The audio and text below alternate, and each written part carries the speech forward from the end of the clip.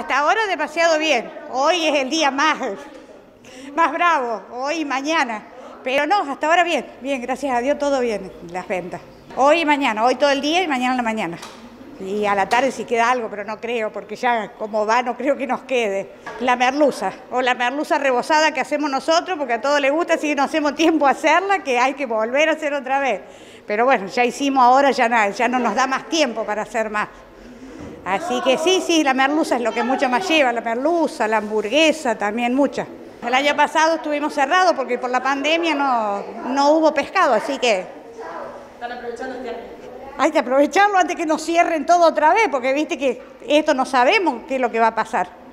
Pero bueno, no, hasta ahora todo bien. Armamos tartas, empanadas, viandas, todo de vigilia, digamos, con mariscos, con pescado, con atún.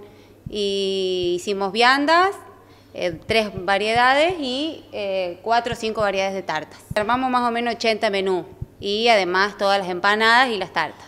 También hicimos un menú para la gente que no hace vigilia, un menú especial de, con carne, digamos, porque hay gente que, que los jueves no hace. Siempre se vende todo, en realidad, siempre es parejo, digamos, hacemos una cierta cantidad de porciones y se venden todos, digamos, hacemos el límite más no podemos hacer. Entonces lo hacemos y la verdad que muy bien, gracias a Dios.